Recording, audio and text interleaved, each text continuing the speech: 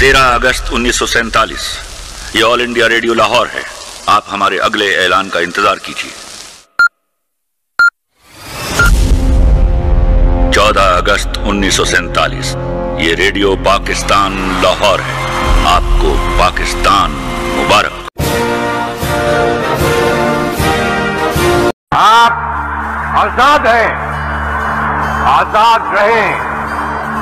आप लोग इस मुल्क पाकिस्तान में अपनी अपनी इबादत गाहों मस्जिदों या मंदिरों में जाने के लिए।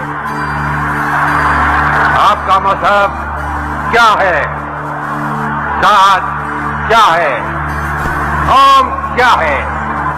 एक वादा। इस मुल्क से वफा करने का जो हमें अभी पूरा करना है। मेरे मुल्क का हर इंसान कह रहा है, तुम सलामत रहो हज़ार बरस। हर बरस के हो दिन पचास हज़ार। शुक्रिया, पाकिस्तान।